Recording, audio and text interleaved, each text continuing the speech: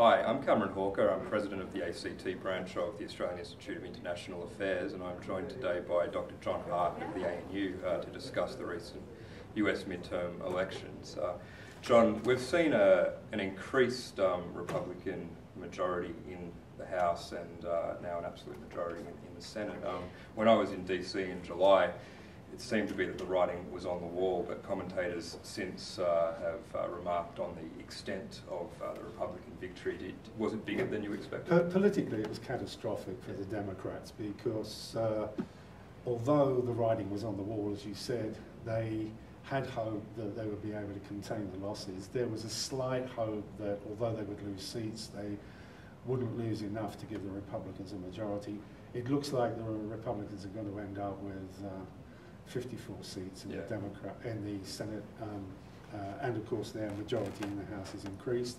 So what Obama has suffered is a loss of that buffer that he had Yeah. with uh, a Democratic-controlled Senate and the 113th Congress. Yeah. So I think things politically will be very different in the over the next two years. Yeah.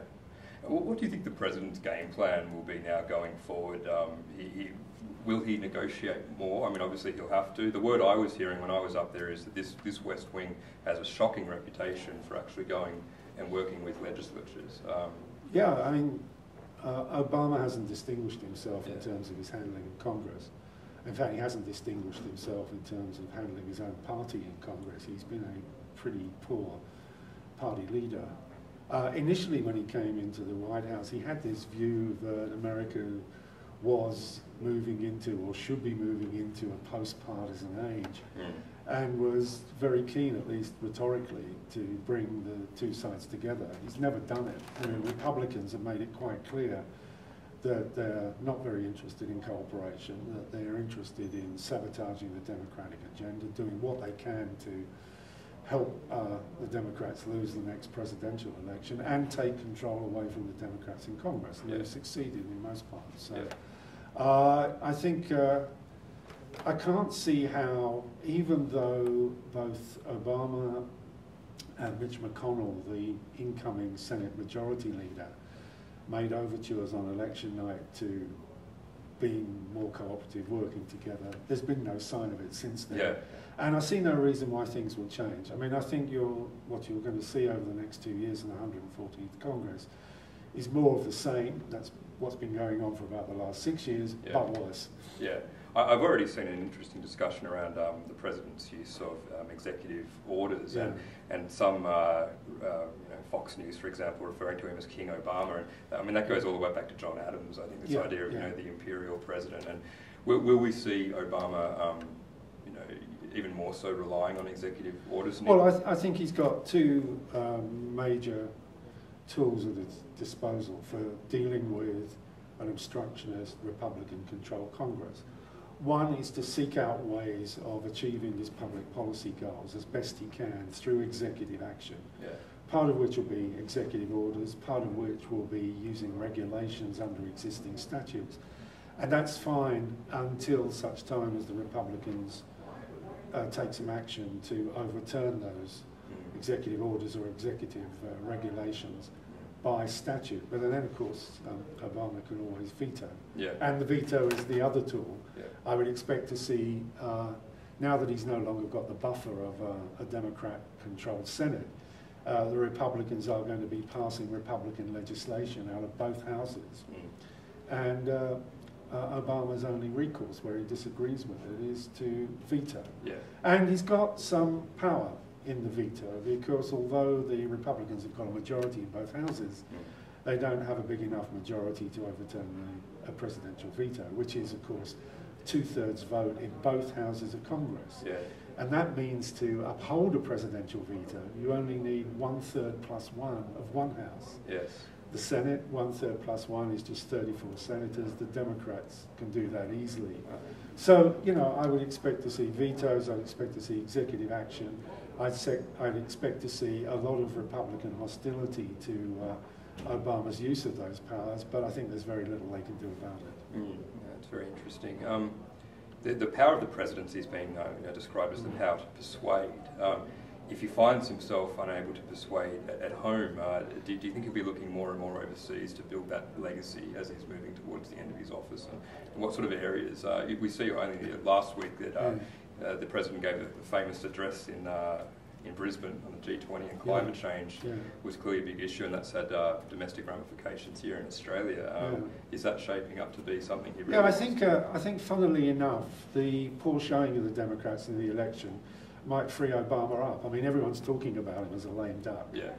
I don't think uh, a president is actually a lame duck in his last two years, in that he can't do anything. He can actually do a lot of things, but uh, um, I think it will free him to uh, do what he really wanted to do and not have to, not have to compromise with Republicans in Congress because he knows he's now he there's pretty lose. no chance.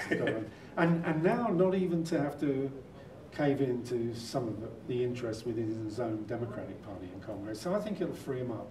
Um, you know, he made that speech in Brisbane, which was really quite surprising. Um, he's, uh, you know, he's initiated the climate change talks with China, yeah. um, which I suspect the Republicans will try to um, unravel if they can. I'm not sure that they will yeah. be able to do that. And I would expect to see him move on other areas.